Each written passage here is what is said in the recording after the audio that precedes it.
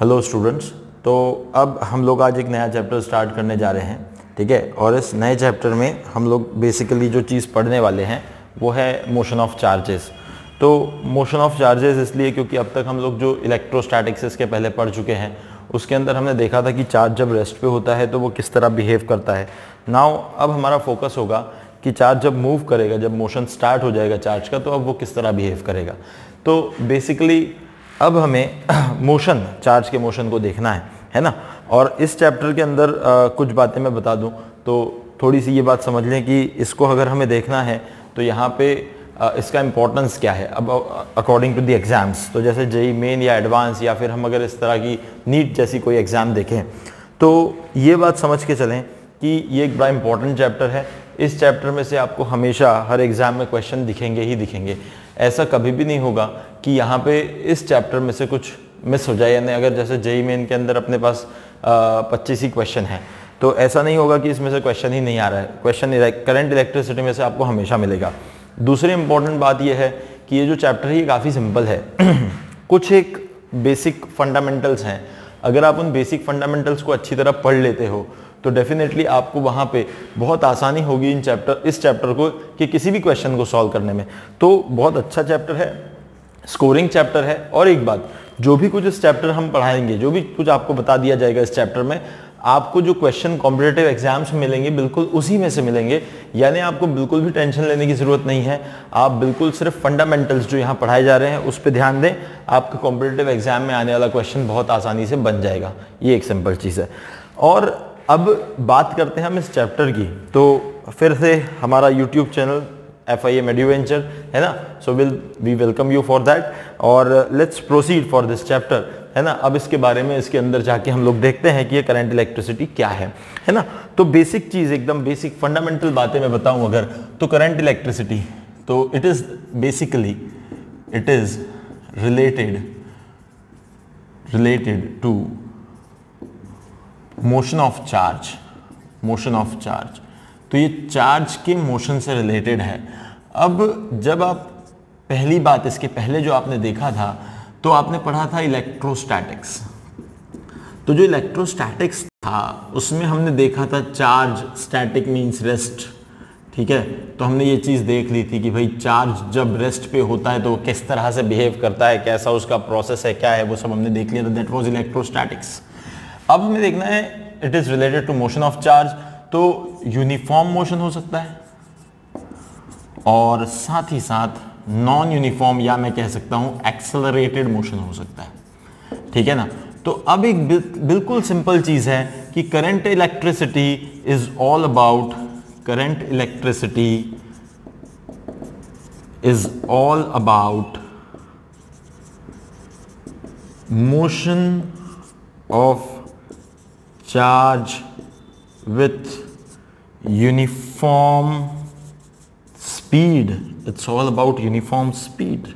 Current electricity is all about motion of charge with uniform speed. Uniform speed होगी constant speed होगी उस तरीके के मोशन की जब हम बात करेंगे तो हम करंट की बात करेंगे करंट इलेक्ट्रिसिटी चैप्टर में अभी हम सिर्फ़ यूनिफॉर्म स्पीड की बात करेंगे फिर अगर हम एक्सेलरेटेड मोशन में जाएँ तो ये आ जाएगा इलेक्ट्रो इसको हम कह सकते हैं कि ये जो चीज़ है it is related to magnetism you can say it is related to magnetism यानी करंट से ऊपर जाके अगर देखें, अगर चार्ज एक एक्सेलरेटेड मोशन कर रहा है तो वो मैग्नेटिज्म क्रिएट करेगा, ये हमारा नेक्स्ट चैप्टर होगा नेक्स्ट यूनिट होगा। तो हम उस तरफ़ जब जाते हैं तब हमें पता चलेगा कि चार्ज के एक्सेलरेशन से किस किस तरह की नई बातें हमें सीखने मिलेंगी। तो दैट इज़ डिफरेंट थिंग अभी हम इसके बारे में बात नहीं करेंगे। अभी हम सिर्फ़ इस पर फोकस करेंगे। That is our motive that is current electricity अब सिंपल चीज़ है। एकदम बेसिक बात है जो आप पहले भी डिफाइन कर चुके हैं। तो आपको पता है कि भाई what is current current is nothing but rate of flow of charge rate of flow of charge with respect to time बड़ी बेसिक सी बात rate of flow of charge with respect to time जब भी भाई कभी, जब भी कभी चार्जेस फ्लो होंगे चार्जेस फ्लो होंगे तो it will contribute to some kind of current ठीक है ना? तो करंट बेसिकली तब होगा जब चार्जेस का फ्लो होगा. अब एक बहुत सिंपल सी चीज़ है सिंपल सी बेसिक सी बात है, मैं एक बेसिक सी बात तुमसे पूछूँगा. अपन कोई भी मेटल का पीस ले लें, कोई भी मेटल का पीस ले लें। जैसे इस रूम में बहुत सारे विंडोज़ हैं विंडोज़ की जो बॉटम्स हैं, वो एल्यूमिनियम की बनी हुई हैं, ठीक है? या फिर आप कोई आयरन का रॉड ले लें, या फिर किसी भी तरह का कोई मेटल का पीस ले लें, ठीक है? अब जो मेटल है, उसके अंदर एटम्स हैं एटम्स हैं तो इलेक्ट्रॉन्स भी हैं इलेक्ट्रॉन्स हैं तो इलेक्ट्रॉन्स सारे घूम रहे हैं, इधर उधर रैंडम भाग रहे हैं, इधर उधर वो एटम्स के अराउंड न्यूक्लियस के अराउंड एटम में घूम रहे हैं।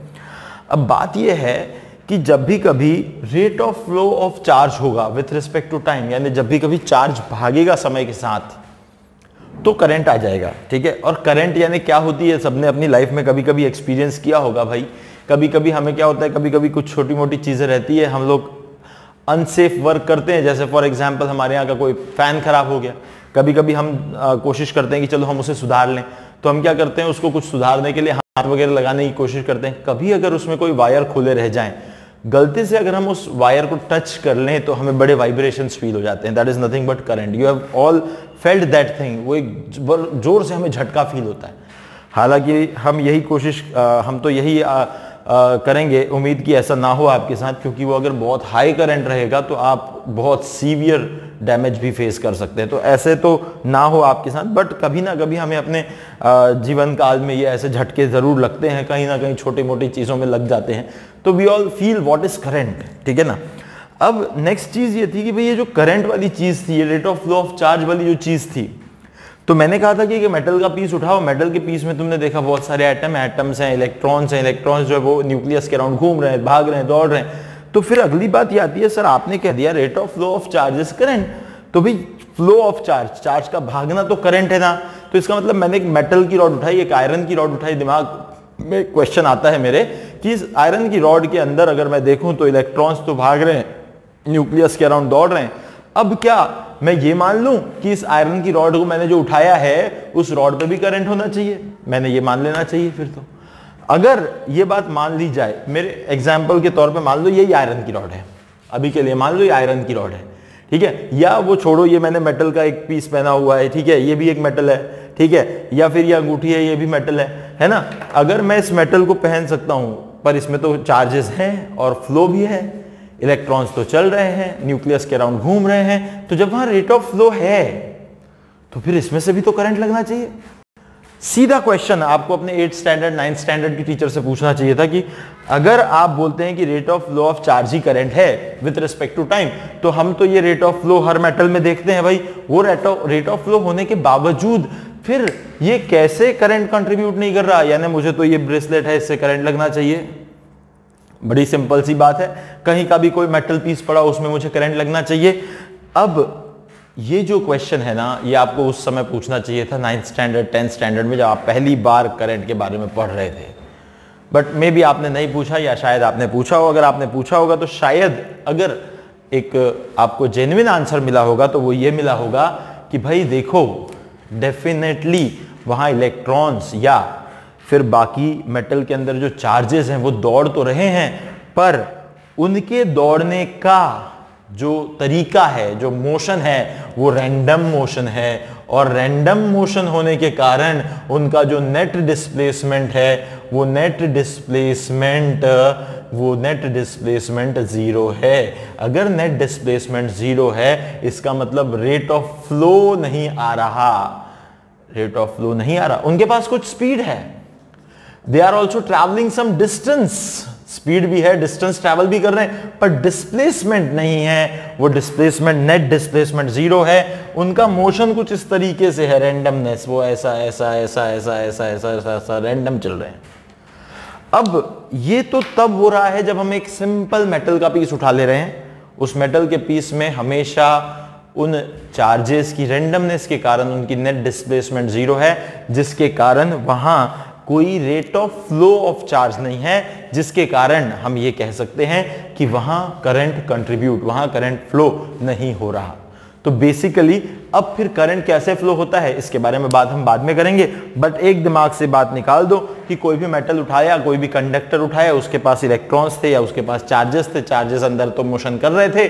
हमें तो एटॉमिक स्ट्रक्चर में पढ़ाया गया था। जब एटॉमिक स्ट्रक्चर में पढ़ाया गया था तो चार्जेस का मोशन तो है, फिर करंट क्यों नहीं है? तो ये बात समझ लो, उनका नेट डिस्प्लेसमेंट ज़ीरो है। इसीलिए वहाँ पे किसी भी प्रकार का कोई करंट नहीं है और इस बात को लेते हुए हम आगे बढ़ेंगे। ठीक है? यानी आप एक सिंपल मेटल का पीस उठाओगे, उसमें इसीलिए करंट नहीं लगता क्योंकि वहाँ पे हमेशा उसका नेट डिस्प्लेसमेंट चार्जेस का नेट डिस्प्लेसमेंट ज़ीरो होता है because of the random motion that's why we do not have any current in that piece of metal और in that piece of conductor okay तो ये एक बात हो गई। अब हम क्या करेंगे?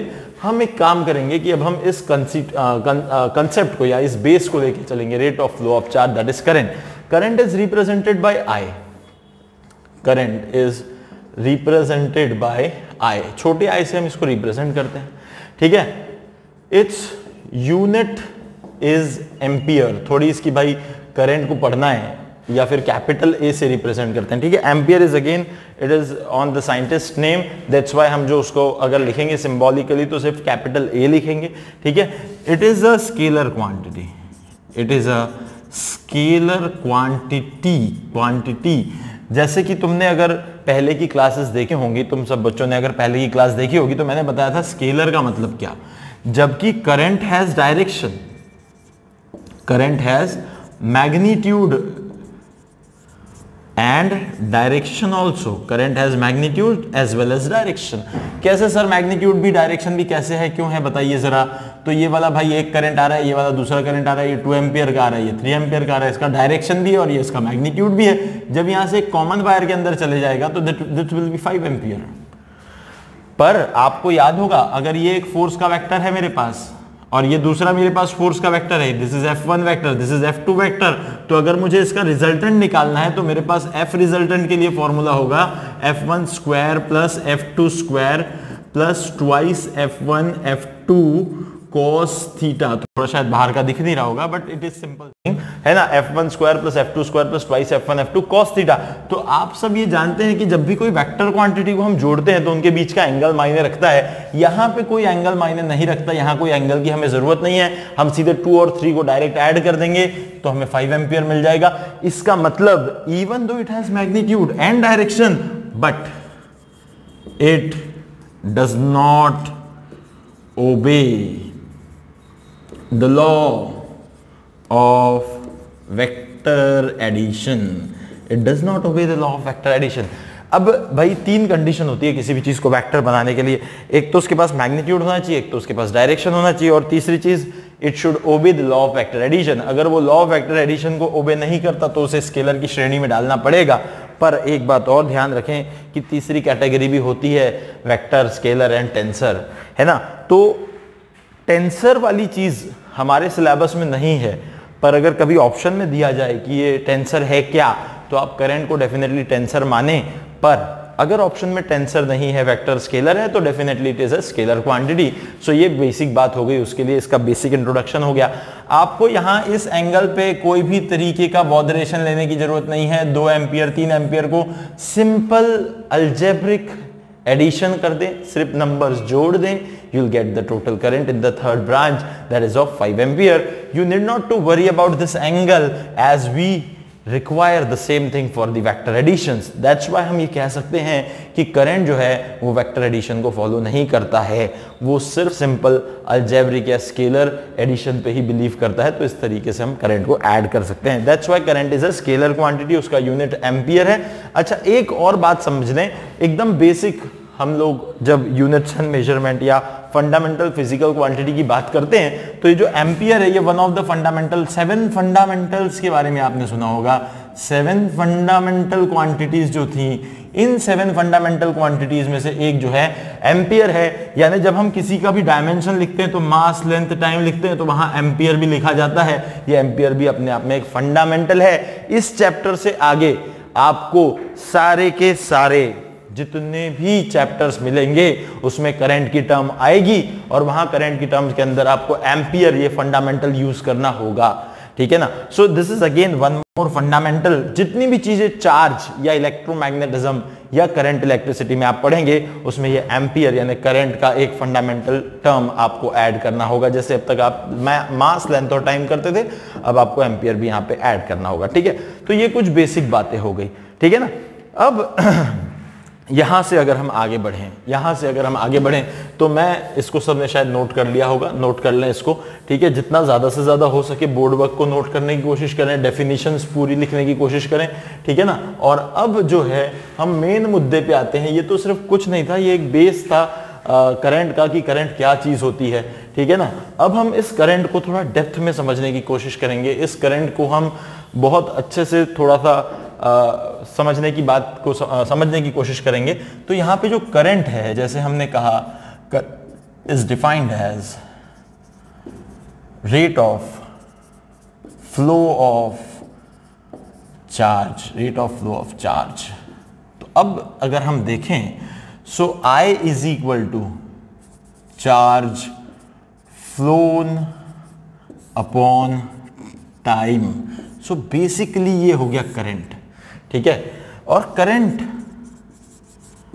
can be of two types two types first instantaneous current instantaneous current that is I simple I so I instantaneous current is nothing but d q by d t when charge flown for very small interval of time dt when charge flown for very small interval of time dt बहुत छोटे समय के लिए जब charge को आपने flow कराया तो that current is nothing but instantaneous current इसके बारे में इंस्टेंटेनियस क्वांटिटीज के बारे में हम पहले भी जान चुके हैं। इंस्टेंटेनियस क्वांटिटीज यानी क्या होता था? हम लोग पहले भी देख चुके, देखो रेक्टिलिनियर मोशन या फिर आपने स्ट्रेट लाइन मोशन जब आप वन डायमेंशनल मोशन पढ़ रहे थे, उस चैप्टर के अंदर आपने बहुत आसानी से समझा था इंस्टेंटेनियस स्पीड इंस्टेंटेनियस वेलोसिटी इनके बारे में हम लोग ऑलरेडी चर्चा कर चुके हैं। इंस्टेंटेनियस क्वांटिटीज जो होती है ना, they are defined for very short time, they are defined for very very small interval of time, that's why they are called instantaneous. So, this is instantaneous current. हाँ आपके दिमाग में ये नहीं होना चाहिए, सर इंस्टेंटेनियस है, एक दूसरा, जैसे हमने वहाँ पे पढ़ा था एवरेज स्पीड या एवरेज वेलोसिटी तो यहाँ पे भी एक आ जाएगा एवरेज करंट तो आपके दिमाग में ये नहीं होना चाहिए कि एवरेज करंट इंस्टेंटेनियस करंट ये दो अलग वैल्यूज़ हैं, पर फ़िज़िकल क्वांटिटी तो एक ही है, वो तो करंट ही है.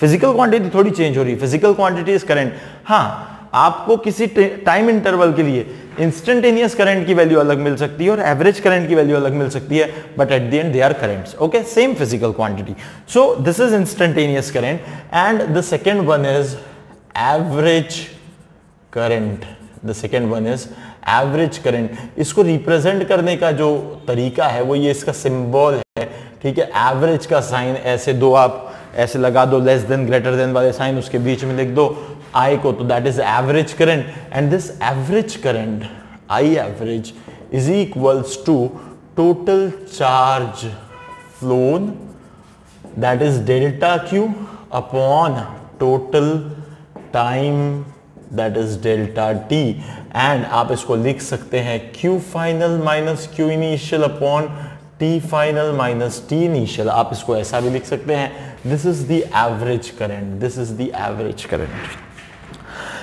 basically you can say instantaneous current is defined for very small interval of time and average current is defined for large interval of time delta t delta आपको पता है d यानी very short thing very small thing delta is large thing d represent very small change delta represent very large change very large change in the time that is delta t so this is average current this is instantaneous current ठीक है अब इसमें हम कुछ important बातें कर लेते हैं इफ़ ये बड़ी इंपॉर्टेंट बातें हैं, इसको याद रखेंगे। If Q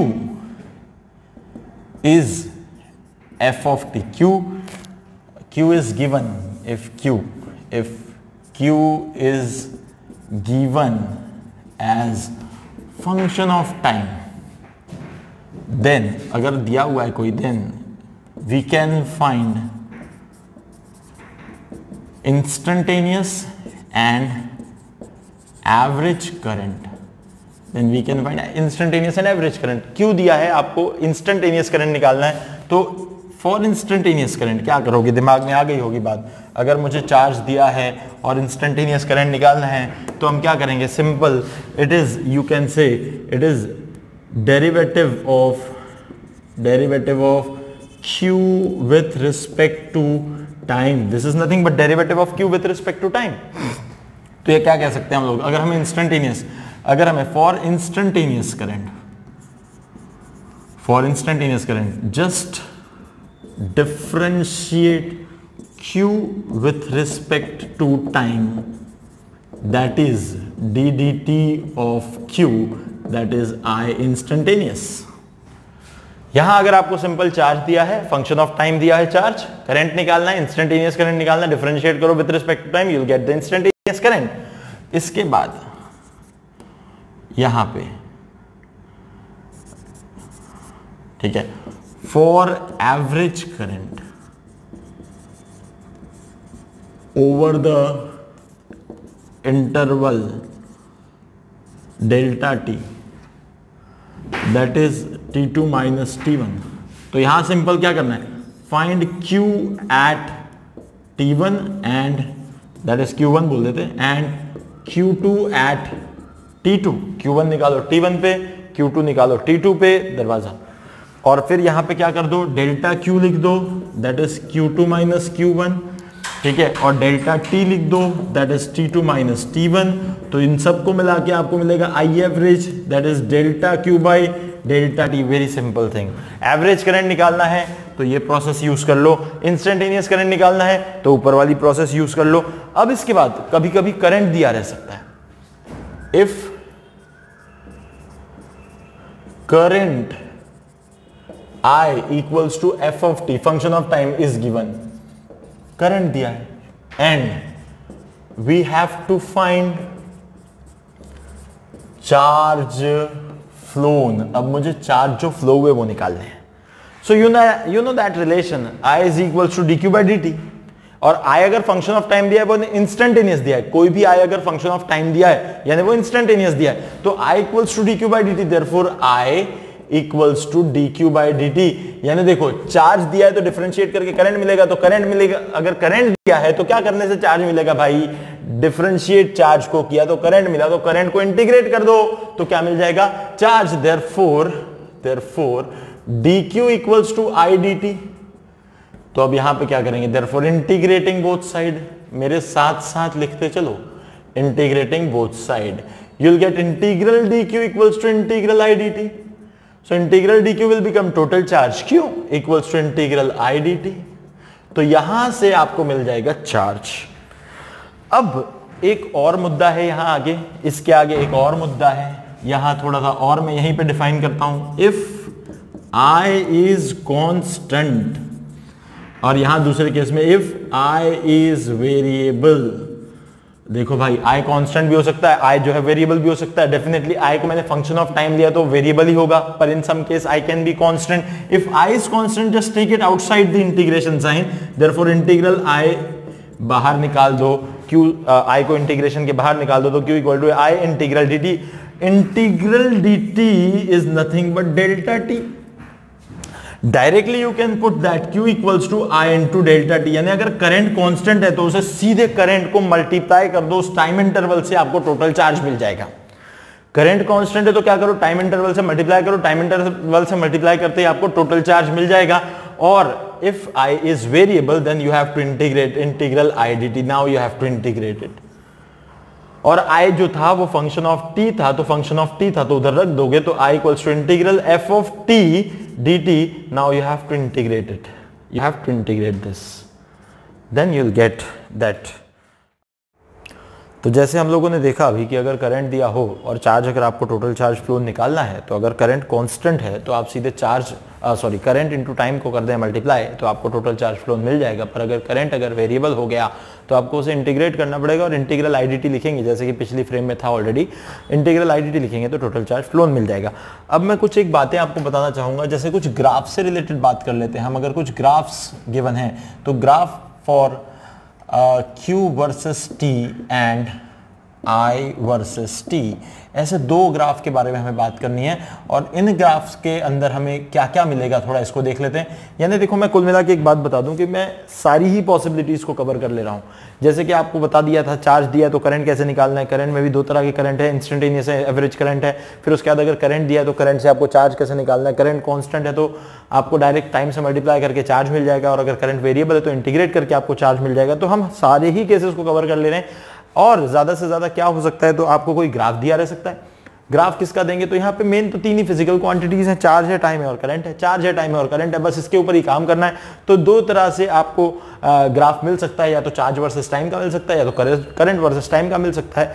आपको ये बात बहुत अच्छे से पता है कि किसी भी ग्राफ में, दुनिया में कोई भी ग्राफ में दो ही चीज़ें ऑब्ज़र्व करने वाली होती हैं। एक तो उसका स्लोप और दूसरा उसका एरिया एक तो उसका स्लोप और दूसरा उसका एरिया यहाँ पे दो ग्राफ हैं और दोनों ही ग्राफ में से हम उसके स्लोप और एरिया को देख लेंगे कि हमें क्या मिलता है, उससे कौन सी फ़िज़िकल क्वांटिटी मिलती है। जैसे ही हमें फ़िज़िकल क्वांटिटी का अंदेशा हो जाएगा, फिर हम समझ लेंगे कि इस ग्राफ से हमें क्या मिलने वाला है। तो let's see first first is charge q versus time graph हम पहले चार्ज वर्सेस टाइम का ग्राफ को देख लेते हैं।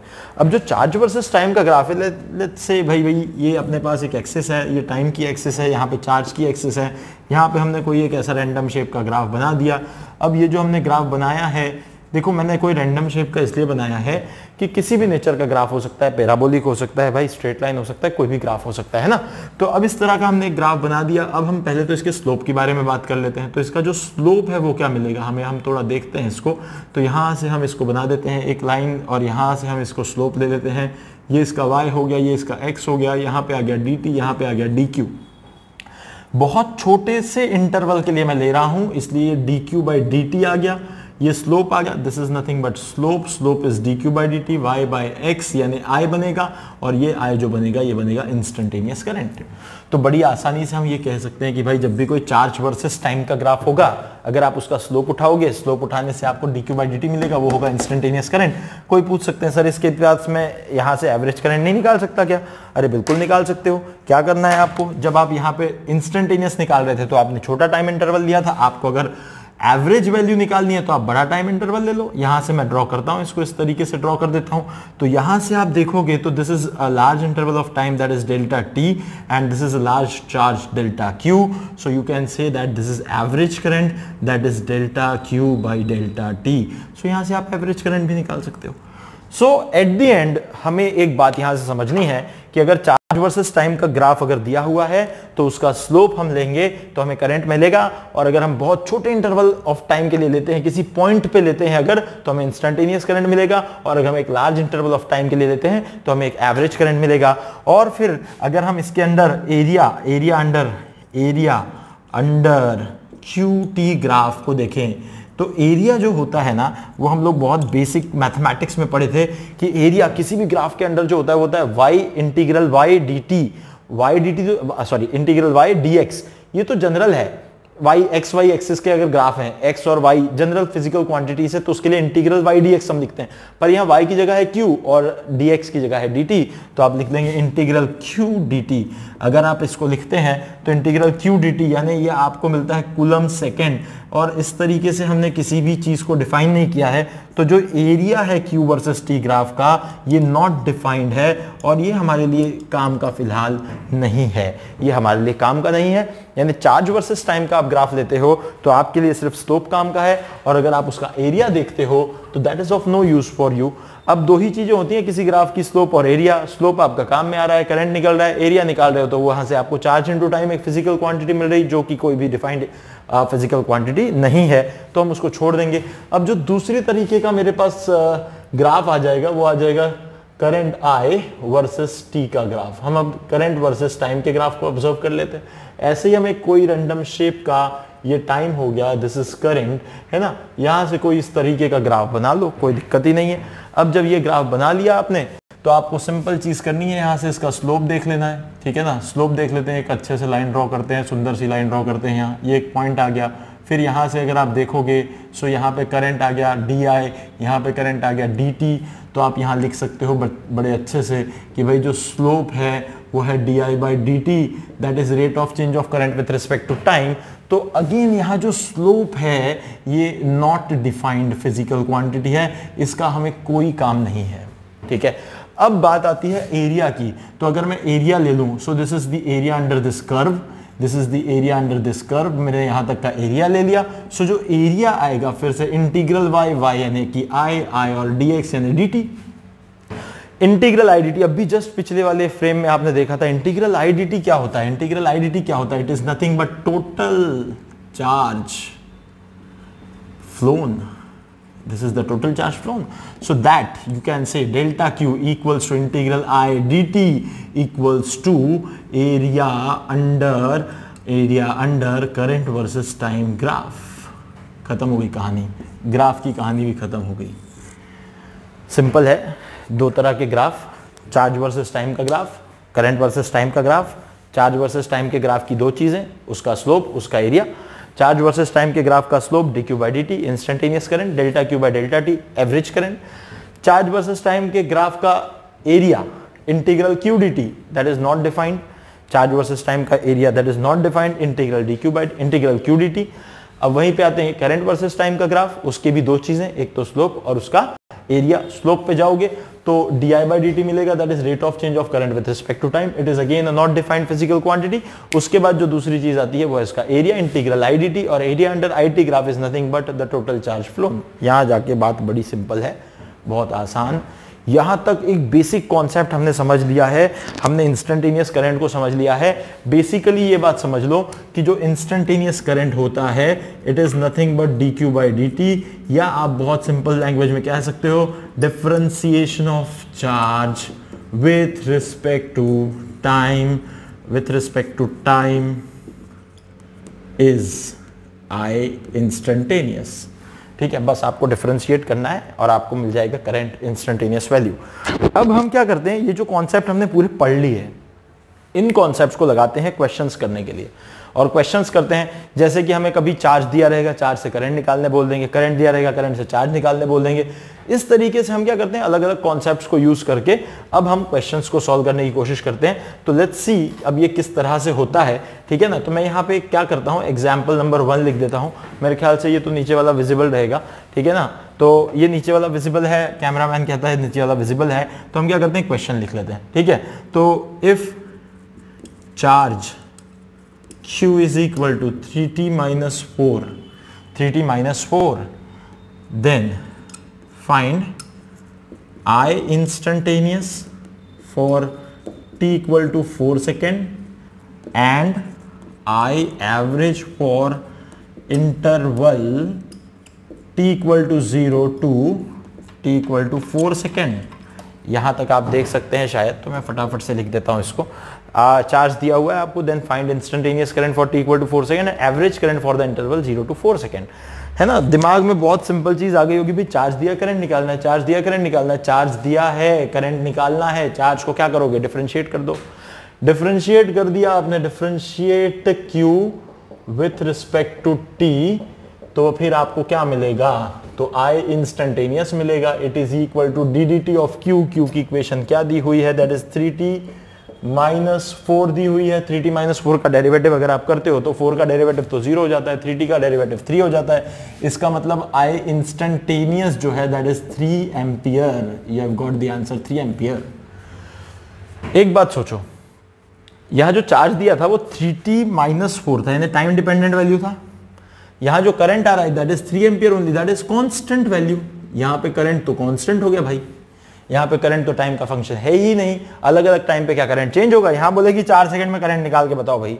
तो क्या बोलोगे? चार सेकंड के बाद करंट है कितना? तीन एम्पियर है वो तो जब भी लोगे आप, आपको वो तीन एम्पियर ही मिलेगा। तो आई जो है वो कॉन्स्टेंट है। इंस्टेंटेनियस वैल्यू थ्री एम्पियर आ गई, इसका मतलब आई इज़ कांस्टेंट अब आपसे पूछा गया, देखो सिंपल चीज़ बताता हूँ। अगर आप घर से निकले और एक गाड़ी चला रहे हो आप, पाँच किलोमीटर पर आर की स्पीड से आप गाड़ी चला रहे हो। आप हमेशा देखते हो तो पाँच किलोमीटर पर आर ही आपको सामने मीटर पर दिखता है। आप चलते जा रहे हो, चलते जा रहे हो, चलते जा रहे हो, किसी भी इंस्टेंट पे आपसे पूछा जाए, बताओ भाई कितनी है स्पीड? आप बोलोगे पाँच किलोमीटर आर। क्या, पाँच किलोमीटर पर आर। ठीक है? फिर आप जहाँ से निकले और जहाँ दूसरी जगह पहुँचे, वहाँ का अगर total distance upon total time किया जाएगा, यानी एवरेज वैल्यू निकाली जाएगी तो भी कितनी आनी चाहिए? ऑब्वियस सी बात है, वो भी पाँच ही आनी चाहिए, क्योंकि आपने कभी स्पीड को चेंज किया ही नहीं है।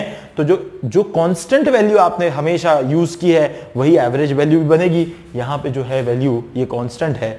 तो आप जब इसका एवरेज लोगे तो भी थ्री एम्पियर ही आएगा। तो मैं एक काम करता हूँ, आपको आई एवरेज निकाल के बता देता हूँ, जो होता है delta q by delta t delta q यानी क्या होता है q final minus q initial by delta t delta t जो भी टाइम इंटरवल है। तो यहाँ देखो जरा टी इक्वल टू ज़ीरो से लेकर t equal to four second तक हमें ये चीज़ निकालनी है तो अब हम क्या करते हैं क्यू फाइनल निकालते हैं पहले। फाइनल यानी चार सेकंड के बाद। तो यहाँ जो चार्ज की अपने पास इक्वेशन है, इसमें चार सेकंड डाल दें तो थ्री इंटू फोर आ जाएगा माइनस फोर आ जाएगा। Three into four three four twelve minus four यानी कितना आ जाएगा एट ठीक है? और इसके बाद क्यू इनिशियल जो है, वो कितना होगा? क्यू इनिशियल जो है, वो कितना होगा? वो कितना होगा भाई? देखो जरा। देख लो यहाँ से। क्यू इनिशियल जो है, वो कितना हो जाएगा आपके पास में? वो आ जाएगा ज़ीरो माइनस फोर, यानी क्यू इनिशियल एक्चुअली आपके पास आ गया माइनस फोर। ठीक है? अब यहाँ से अगर आप देखेंगे तो डेल्टा क्यू कितना आ जाएगा? तो q final minus q initial कर दो तो क्यू फाइनल यानी कितना हो गया? एट माइनस माइनस फोर यानी प्लस, यानी कितना हो गया? ट्वेल्व कुलम अब आप आई एवरेज निकाल लो भाई। आई एवरेज आ गया। 12 coulomb by delta t delta t zero से फोर के बीच का डेल्टा टी फोर होगा फोर से काट दोगे तो थ्री एम्पियर बचेगा। देख लो एवरेज करंट की वैल्यू भी थ्री एम्पियर ही आ रही है, जैसे कि इंस्टेंटेनियस की आई थी। ऑब्वियस है ना? ये तो बड़ी छोटी बात है। ये तो डिस्कस करने लायक की बात नहीं है, फिर भी बता रहा हूँ। ठीक है? अब एग्ज़ाम्पल नंबर टू लेते हैं। ठीक है ना? कुछ नया लेते हैं। थोड़ा सा अच्छा लेते हैं। If q is equal to three t square minus four t find i instantaneous at t equal to three second and i average for interval for interval t equal to zero to t equal to four second चार सेकेंड के लिए निकालना है। Again it is very simple again it is very simple same यहाँ सिर्फ़ एक linear equation थी, यहाँ पे एक क्वाड्रेटिक टाइप की इक्वेशन है। यहाँ पे टी का पावर टू है, ठीक है ना? तो बस बड़ी सिंपल सी चीज़ है। यहाँ एक और चीज़ कर सकते हैं आप। कुछ भी आप चाहें तो और भी वैसे कर सकते हैं, थोड़ा सा मैनिपुलेट कर सकते हैं इसको। ऐसा बोला जा सकता है करंट निकालो जब चार्ज ज़ीरो है। एक और पार्ट इसमें ऐड किया जा सकता है। चार्ज ज़ीरो का मतलब क्यू ज़ीरो रख देना टी निकालना, वो टी लिखे करंट की इक्वेशन में रख देना। वैसा भी कर सकते हो। फ़िलहाल तो अभी अपन इसी को कंटिन्यू करें तो आई इंस्टेंटेनियस मुझे निकालना है। So i instantaneous is nothing but d q by d t that is derivative of this equation three t square minus four t इसको डिफ्रेंशिएट करेंगे तो मैं अब डिफ्रेंशिएशन के डिटेल में नहीं जाऊँगा, ये आपको आता है। इसको यहाँ लाओ तो ये आ जाएगा सिक्सटी माइनस फोर ये आपके पास आ गया करंट का इंस्टेंटेनियस वैल्यू पहले एग्ज़ाम्पल में और इसमें एक अंतर है। यहाँ आपको दिख रहा है कि करंट का instantaneous value now it is function of T अगर पहले वाले एग्ज़ाम्पल में देखोगे तो करंट का instantaneous value was three ampere यहाँ का दिखता नहीं है शायद। दिखता है क्या? इसको अपन यहाँ का मिटा लेते हैं ना? ठीक है ना? मेरे ख्याल से ये सबने अभी आ, कर लिया होगा है ना? सबने आपने इसको तो लिख लिया होगा सारा है ना? तो अपन आगे बढ़ते हैं अभी। तो मैंने एक इंस्टेंटेनियस वैल्यू ऑफ़ करंट निकाल दिया है ठीक है? इंस्टेंटेनियस वैल्यू ऑफ़ जो करंट निकाला है वहाँ आपको दिख रहा है कि वो फ़ंक्शन ऑफ़ टाइम है। अगर वो फ़ंक्शन ऑफ़ टाइम है इसका मतलब अलग अलग टाइम पे उसकी अलग अलग वैल्यूज़ हैं। तो आप बहुत आसानी से मेरे साथ साथ, मैं इतना बोल रहा क्यों पता है बीच में इसलिए ताकि मैं सोचता हूँ कि तुम इसको सॉल्व कर लोगे उतनी देर में। अगर कोई जेन्युइन स्टूडेंट होगा तो मेरे टाइम पास करते समय पे वो कर चुका होगा सॉल्व अब आपको बोला गया है, भाई इंस्टेंटेनियस करंट निकालो, तीन सेकंड पे तो बस ये नीचे वाला शायद दिखता है, इतनी यूज़ कर लेते हैं हम लोग इसको स्पेस को। तो ये सिक्स इंटू थ्री कर लो आप, ये आप टाइम थ्री सेकंड रख लो six into three minus four कर लो एटीन माइनस फोर यानी क्या हो जाएगा आपके पास fourteen ampere will be the answer that is the value of instantaneous current at T equal to three second now the second thing is you need to find the average current अब जब मुझे average current निकालना है average current निकालना है तो मुझे फिर से क्या चाहिए? मुझे चाहिए delta Q by delta T और मुझे चाहिए अगर डेल्टा क्यू तो डेल्टा क्यू का मतलब है Q final minus Q initial अब क्यू फाइनल का मतलब टी इक्वल टू कौन सा सेकंड है भाई? कितने सेकंड कितने सेकंड कितने सेकंड चार सेकंड तो Q फाइनल यानी T equal to four second पे आपको निकालना होगा और वो कितना आ जाएगा? तो वो आ जाएगा थ्री इंटू फोर का स्क्वायर माइनस आ जाएगा फोर इंटू फोर तो ये कितना आ जाएगा? 16 16 इंटू थ्री यानी 48 48 माइनस सिक्सटीन यानी कि आ जाएगा 32 कुलम क्यू इनिशियल यानी कि आपके पास आ गया टी इक्वल टू ज़ीरो पे। टी इक्वल टू ज़ीरो है क्या हाँ टी इक्वल टू ज़ीरो है। टी इक्वल टू ज़ीरो का मतलब कितना आ जाएगा? क्यू इनिशियल तो ज़ीरो ही आ जाएगा।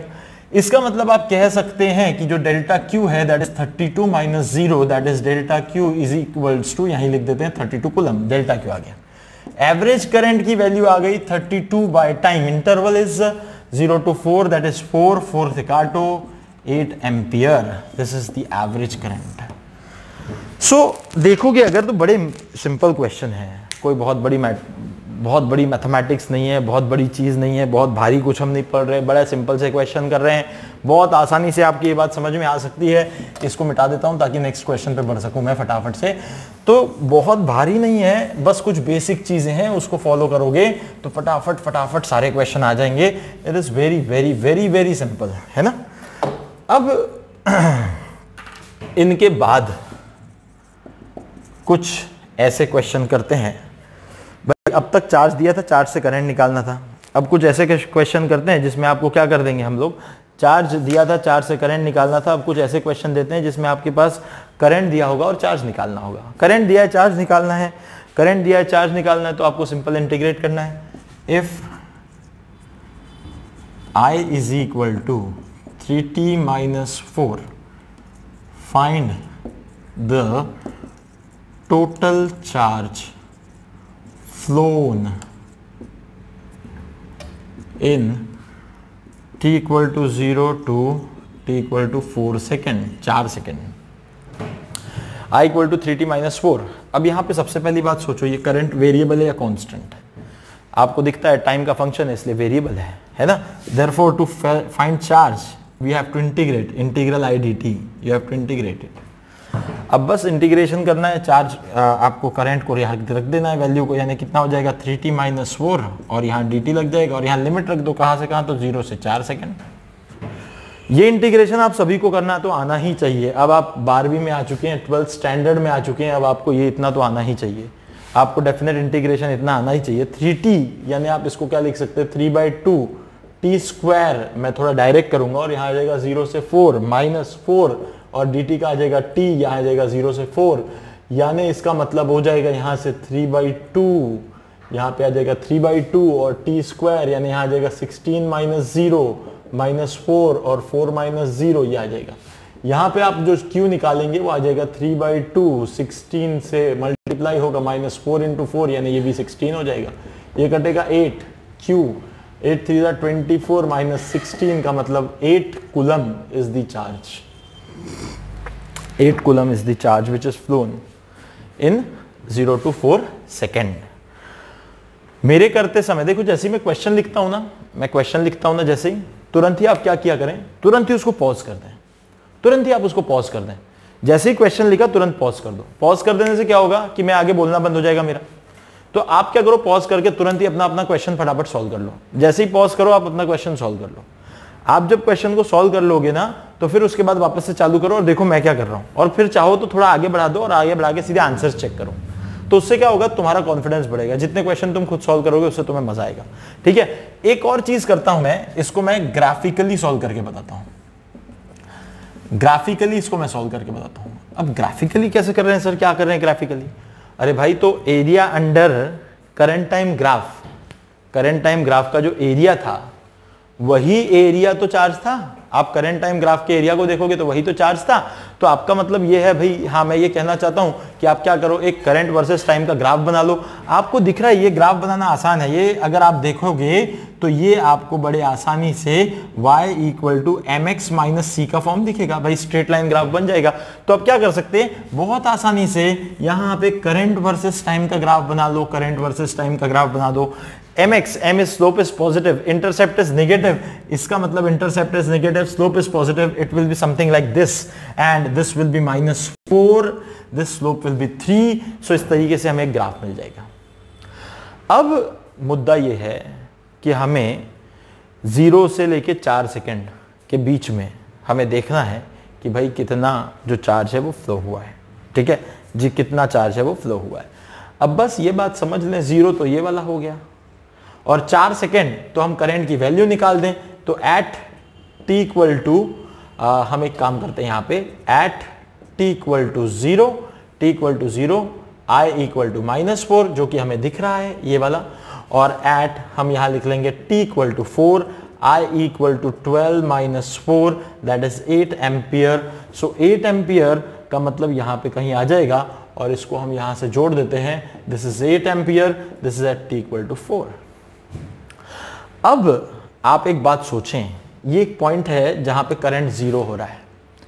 तो करंट ज़ीरो कहाँ हो रहा है? तो I equal to zero I equal to zero के लिए अब क्या करना पड़ेगा? ज़ीरो इक्वल टू करंट की इक्वेशन में लिख दो, वो क्या आ गया? थ्री टी माइनस फोर तो यहाँ से क्या आ जाएगा? T equal to four by three शायद ये दिख रहा होगा, इतना तो नीचे का दिख रहा होगा। ये दिख रहा है कि नहीं दिख रहा है?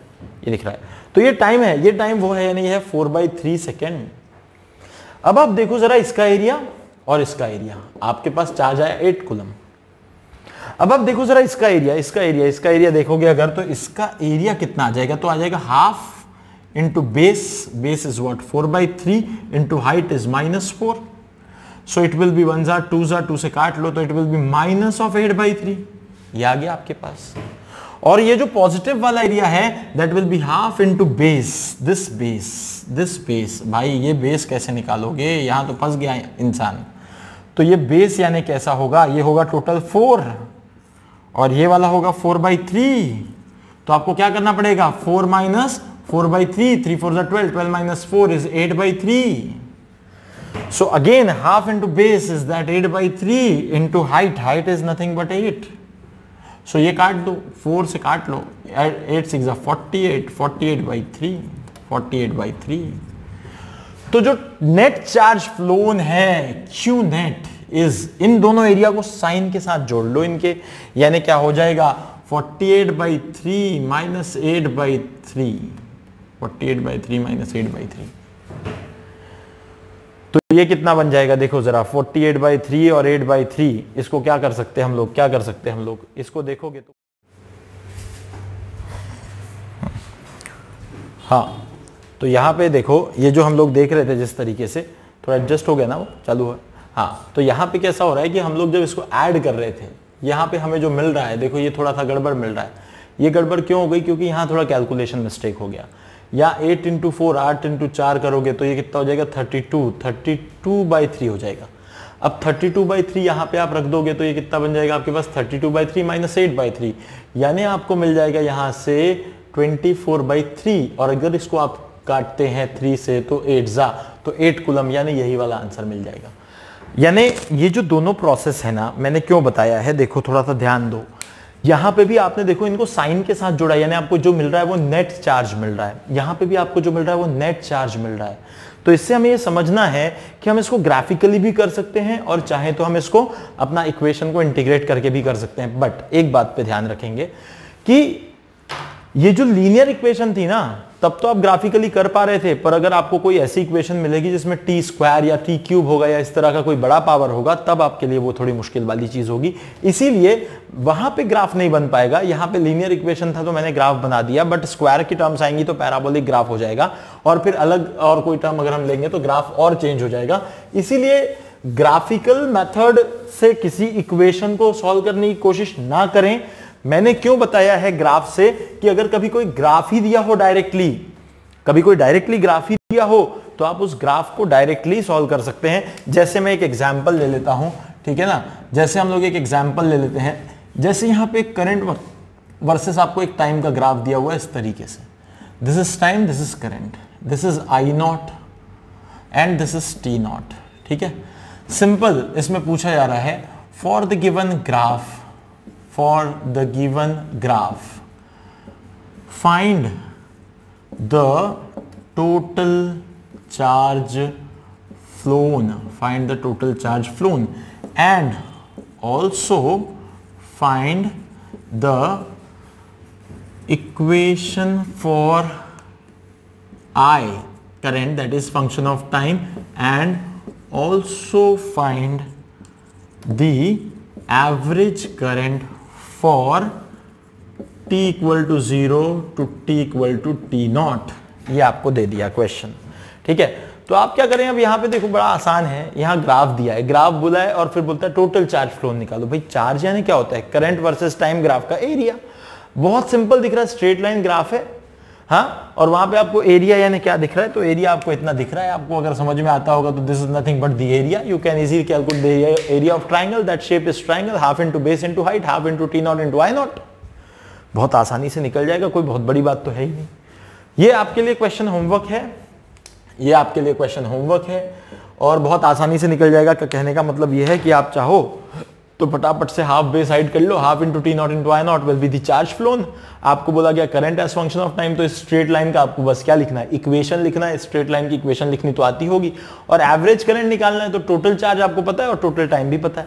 उसके हिसाब से आप एवरेज करंट निकाल सकते हैं। वेरी सिंपल थिंग है ना? So this is all about this is all about instantaneous current average current charge है ना? चार्ज दिया है तो करंट निकालो करंट दिया है तो चार्ज निकालो, बड़ी सिंपल सी चीज़ है। है ना? एक क्वेश्चन और बड़ा सिंपल सा दे देता हूँ तुम लोगों को। एक और क्वेश्चन दे देता हूँ। If I is equal to four ampere find the charge flown find the charge flown for T equal to five second पाँच सेकेंड के लिए कितना चार्ज फ्लो रहा है? बहुत आसानी से निकाल सकते हो। ठीक है ना? बहुत सिंपल सी चीज़ है। ये कि इंस्टेंटेनियस करंट यानी कांस्टेंट करंट ही दिया हुआ है आपको। कांस्टेंट करंट दिया है तो सीधे टाइम से मल्टीप्लाई करो यूल गेट दी चार्ज है ना? तो बड़ी सिंपल सी चीज़ है, सारी बातें यहाँ आ गई। अब, यहाँ से आगे अगर बढ़े हम तो मुझे एक फ़िज़िकल क्वांटिटी और डिफाइन करनी है यहाँ। आई होप ये सबने लिख लिया होगा। ये बीच में थोड़ा सा करेक्शन था, वो हमने करेक्शन कर लिया है। उसके बाद अगर आपने ये सब चीज़ें लिख ली होगी तो हम आगे बढ़ेंगे। अब आगे बढ़ेंगे तो क्या होगा, देखते हैं। एक और फ़िज़िकल क्वांटिटी जो मुझे डिफाइन करनी है दैट इज़ करंट डेंसिटी ठीक है ना? दैट इज़ करंट डेंसिटी तो अब हम उसको देख लेते हैं. Current density that is current crossing any cross sectional area current per unit area is nothing but current density and that is defined by that is actually defined और represented by capital J है ना? तो एक current density के बारे में हम लोग काम करेंगे अब. करंट डेंसिटी को समझने की कोशिश करेंगे कि ये होती क्या है. ठीक है ना? तो ये देखते हैं, सबसे पहले इसको डिफाइन कर लेते हैं. Current density it is represented by J किसी किसी किताब में कुछ अलग भी हो सकता है इसका नोटेशन यहाँ तो हम जे लेके चलेंगे, ठीक है? तो करंट डेंसिटी के बारे में करें अगर बात। तो सबसे पहली बात, अब जब करंट होगा ना तो करंट हमेशा किसी क्रॉस सेक्शन एरिया से जा रहा है। आप ये हमेशा मान के चलें कि भाई करंट जो है, वो किसी कंडक्टर में जब चलता है तो हमेशा उसके चलने को हम किसी क्रॉस सेक्शन के लिए डिफाइन करते हैं। किसी क्रॉस सेक्शन एरिया के लिए डिफाइन करते हैं। तो ये मान लेंगे कि भाई ये है एक छोटा सा हमने पढ़ लिया इसका डिफरेंशियल एलिमेंट ये इसका छोटा सा विथ है, ठीक है? और ये जो मैं दूसरे कलर से दिखा देता हूँ, इसको ब्लू कलर से, ये वो क्रॉस सेक्शन एरिया है जिसमें से ये करंट जा रहा है।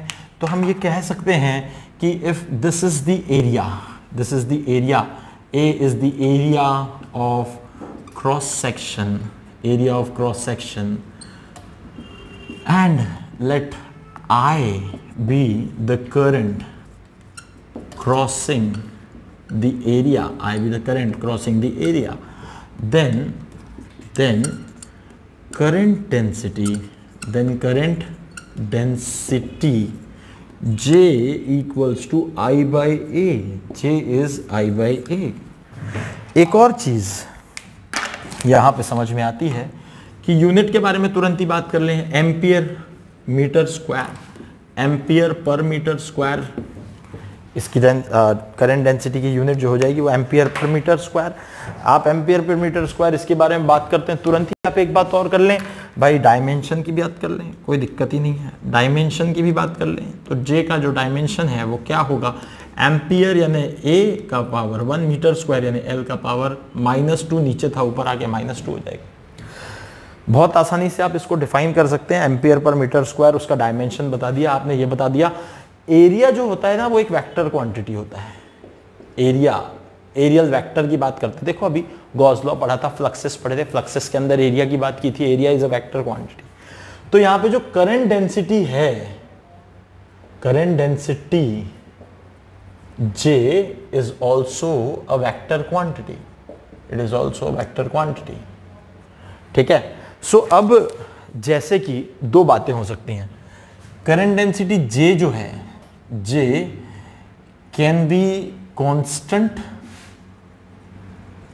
and J can be variable J can be constant J can be variable so अगर हमें किसी क्रॉस सेक्शन से किसी क्रॉस सेक्शन से करंट निकालना है so I will be equals to I will be equal to ये यहाँ मल्टीप्लाई हो जाएगा और आई एक स्केलर क्वांटिटी है करंट डेंसिटी वेक्टर है एरिया वेक्टर है तो कौन सा प्रोडक्ट लगेगा भाई? दोनों का। दो वेक्टर के प्रोडक्ट से एक स्केलर बनाना है तो that should be a scalar product तो I equals to J into A J dot A this is nothing but the current आपको सीधे सीधे क्या करना है? डेंसिटी को इंटू एरिया से मल्टीप्लाई कर देना है तो आपको टोटल एरिया से जाने वाला करंट मिल जाएगा। But if I is, uh, sorry, J is variable, then current I will be again integration, J dot D. Very simple, very simple, same thing. भाई अगर करंट डेंसिटी कांस्टेंट है तो area से multiply कर दो भाई एक मीटर स्क्वायर से अगर 10 एम्पियर पर मीटर स्क्वायर जा रहा है तो 10 मीटर स्क्वायर से कितना जाएगा तो 10 इंटू दस सौ एम्पियर का चला जाएगा सिंपल है कांस्टेंट है तो डायरेक्ट मल्टीप्लाई कर दो वेरिएबल है तो इंटीग्रेट कर दो बड़ा सिंपल है। इंटीग्रेशन कब लगाना है? जब वेरिएबल क्वांटिटीज से हमारा सामना हो। जब हमारा सामना वेरिएबल क्वांटिटीज से हो तब इंटीग्रेशन लगाना है पर जब हमारा सामना कांस्टेंट क्वांटिटीज से हो रहा है तो आप इंटीग्रेशन से बच सकते हो बड़े आसानी से वहाँ से निकल सकते हो। तो ये एक बड़ी सिंपल सी चीज़ है भाई current is J into A for current density to be constant and it will be integral j dot a j dot da sorry for current density to be variable okay? So this is one more thing this is one more uh, part. जो हम लोग यहाँ पर discuss कर सक, कर सकते थे। अब एक छोटी सी चीज़ है कितने मिनट हो गए? नौ मिनट हमें ना थोड़ा सा ये वीडियो का लेंथ एक ही घंटे का रखना है ठीक है? तो थोड़ा सा आज बीच बीच में कुछ डिस्टर्बेंस होने के कारण थोड़ा सा ये वीडियो की लेंथ जो है वो थोड़ी इनअप्रोप्रिएट है। लेट्स सी कितने मिनट का बना है मुझे भी नहीं पता चल रहा क्योंकि बार अभी दो बार ये कैमरा बंद हो गया है ना? थोड़ी सी गड़बड़ हो गई उस चक्कर में। तो खैर कोई दिक्कत नहीं है। आ, हम लोग क्या करते हैं इससे रिलेटेड कुछ एक दो क्वेश्चन आपको दे देते हैं इससे रिलेटेड कुछ एक दो क्वेश्चन हम लोग कर लेते हैं ठीक है ना? तो हम करंट डेंसिटी से रिलेटेड क्वेश्चन कर लेते हैं या करंट डेंसिटी से रिलेटेड क्वेश्चन को हम नेक्स्ट क्लास में करेंगे क्योंकि क्वेश्चन तीन चार कराने पड़ेंगे थोड़ा समय ज़्यादा लगेगा। पर ये कॉन्सेप्ट आप अपने पास लिख के रख लो। मैं एक चीज़ और बता देता हूँ एक छोटा सा कॉन्सेप्ट है current in the conductor current in the conductor ये थोड़ा सा कॉन्सेप्ट है, इसकी थियोरी के बारे में हम लोग कुछ बातें कर लेते हैं। Current in the conductor basically ये किसी कंडक्टर में करंट क्या होता है करंट की वैल्यू क्या होती है करंट कैसे चलता है भाई? बस हमें इस बारे में बात करनी है। ठीक है? तो एक बात समझ ले, मैंने शुरू में ही बताया था कि जब भी कभी हम किसी कंडक्टर की बात करते हैं, कोई भी एक आपने रॉड ले लिया आयरन का ले लिया कॉपर का ले लिया, कोई भी ले लिया, है ना? तो जब भी कभी किसी क्रॉस सेक्शन में से ये क्रॉस सेक्शन बनाता हूँ मैं। जब भी कभी किसी क्रॉस सेक्शन से, ये क्रॉस सेक्शन की थोड़ी विड्थ दिखा रहा हूँ मैं। जब भी इस क्रॉस सेक्शन से कुछ चार्जेस ये जो इलेक्ट्रॉन्स हैं, ये जो चार्जेस हैं, जब ये इलेक्ट्रॉन्स इसको भाग के क्रॉस करेंगे, तभी करंट कंट्रीब्यूट होगा। तभी करंट जो है, हम कह सकते हैं कि इस कंडक्टर में कुछ करंट है। पर अगर ये इसको क्रॉस ही नहीं करेंगे तो कंडक्टर में करंट नहीं होगा। अभी शुरुआत में ही मैंने एक बात बताई थी कि मैं कोई रॉड ले लूँ आयरन का। उस आयरन के रॉड की अगर मैं बात करता हूँ तो उस आयरन के रॉड में मैंने सिंपल चीज़ की कि भाई भाई, इसमें मैंने उठा लिया उस रॉड को हाथ में और मैं ये बोलने लगा कि अब ये जो आयरन का रॉड है, मुझे करंट लगेगा इससे। तो ऐसा तो हो नहीं रहा। जबकि मैंने शुरू में बताया था कि वो जो आयरन का रॉड है, उसके अंदर उसके एटम्स हैं, इलेक्ट्रॉन्स हैं, वो सब होने के कारण इलेक्ट्रॉन्स तो अपने रैंडमनेस से दौड़ ही रहे हैं, सब कुछ है। बट हमें ऐसे ही कोई रॉड उठा लें हाथ में तो हमें करंट नहीं लगता। वो इसलिए नहीं लगता क्योंकि उसका नेट डिस्प्लेसमेंट ज़ीरो होता है। तो एक्चुअली क्या हो रहा है? यहाँ पे भी ये जो इलेक्ट्रॉन्स है ना, ये random random random random random random ऐसे भाग रहे हैं। अब एक्चुअली जब ये रैंडम ही भाग रहे हैं तो फिर ये कभी भी किसी पर्टिकुलर एरिया को सबके सब मिलके क्रॉस तो करेंगे नहीं। जब क्रॉस करेंगे नहीं तो करंट होगा नहीं। इसका मतलब एक इंपॉर्टेंट बात हमने बचपन से पढ़ रखी है कि किसी कंडक्टर में करंट चलाना है तो इसके आजू बाजू कुछ लगाना पड़ेगा। क्या लगाना पड़ेगा भाई? कुछ तो लगाना पड़ता है, कुछ बोलते हैं उसको। क्या बोलते हैं उसको? बोलते हैं पोटेंशियल डिफरेंस यानी आपको एक बैटरी या कोई सोर्स जो कि पोटेंशियल दे। पोटेंशियल डिफरेंस क्रिएट करे, वैसा सोर्स लगाना पड़ेगा। जब आप ऐसा कोई सोर्स लगाएँगे, क्या होगा? मैं थोड़ा आज सिर्फ़ ना बैकग्राउंड समझा रहा हूँ इसका। नेक्स्ट क्लास में इसके कॉन्सेप्ट को पूरा अच्छे से बताऊँगा। आज सिर्फ़ बैकग्राउंड बता रहा हूँ, अभी थोड़े से समय में, दस मिनट, पाँच सात मिनट में।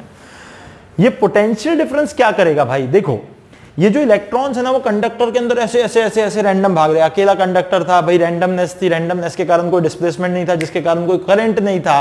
पर हुआ क्या? जैसे ही आपने पोटेंशियल डिफरेंस लाया, ये इलेक्ट्रॉन बड़े बड़े खींचे गए, भाई पॉजिटिव चार्ज पॉजिटिव वाला पोटेंशियल आया, चलो भागो पॉजिटिव पोटेंशियल आया, भागो भागो पॉजिटिव की तरफ़ भागने लग गए? जैसे ये इलेक्ट्रॉन्स भागने लगे पॉजिटिव की तरफ़, जैसे ये भागने लगे भागने लगे तो ये भागना मतलब ही कुछ तो नेट डिस्प्लेसमेंट क्रिएट हो गया। कुछ नेट डिस्प्लेसमेंट क्रिएट हो गया। सर, कैसा? नहीं समझ में आई सर बात। क्या बोल रहे हैं सर? नहीं समझ में आई। नहीं समझ में आई। ठीक है, देख लेते हैं। पहले ये रैंडमनेस थी। पहले ये रैंडमनेस थी। पहले ऐसे भागते थे। ऐसे भागते थे। नेट डिस्प्लेसमेंट ज़ीरो कर लेते थे अपना। भागते थे भागते थे नेट डिस्प्लेसमेंट ज़ीरो कर लेते थे, फिर इधर आ जाते थे नेट डिस्प्लेसमेंट ज़ीरो ये रैंडमनेस थी, ये रैंडमनेस थी, भागते थे।